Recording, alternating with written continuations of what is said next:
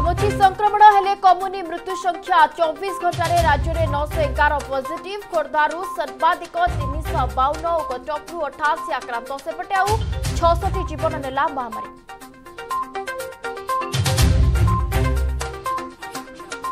देश को मिला प्रथम डीएनए आधारित टीका जैडस काडिलार तीन डोज विशिष्ट भैक्सीन को अनुमति एमरजेन्सी व्यवहार पर डीसीजीआई एक्सपर्ट कमिटी दे मंजूरी बारु अठर वयस्कों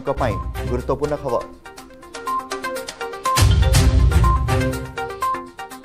इशारा इशारे तालिबान को प्रधानमंत्री को टार्गेट कहले ध्वंस आतंक सामयिक शक्तिशा रही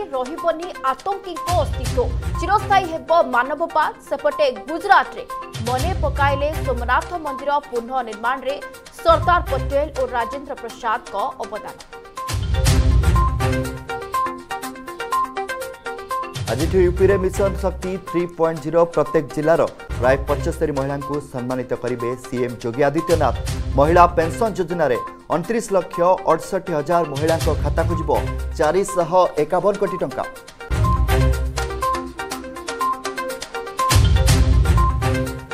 ଜଗତସିଂହପୁର ଜିଲ୍ଲା ମୁଖ୍ୟ ଚିକିତ୍ସାଳୟରୁ ଶିଶୁ ଚୋରି ଅଭିଯୋଗ ସିସିଟିଭିରେ କଏଦ ହେଲା ପିଲାଟି ବିପଡ଼ର ଦୃଶ୍ୟ ଥାନାରେ ଏତଲା ଦେଲେ ଶିଶୁର ଜେଜେମା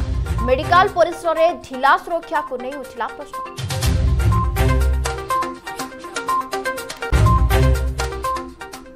ଆଜି ଜନ୍ମମାଟିକୁ ଫେରିବେ ଦେଶ ପାଇଁ ଗୌରବ ଆଣିଥିବା ଚାରି ଓଡ଼ିଆ ହକି ଖେଳାଳି ସ୍ୱାଗତ ପାଇଁ ସୁନ୍ଦରଗଡ଼ରେ ବ୍ୟାପକ ପ୍ରସ୍ତୁତି ଶୋଭାଯାତ୍ରା ପରେ ଦିଆଯିବ ସମ୍ବର୍ଦ୍ଧନା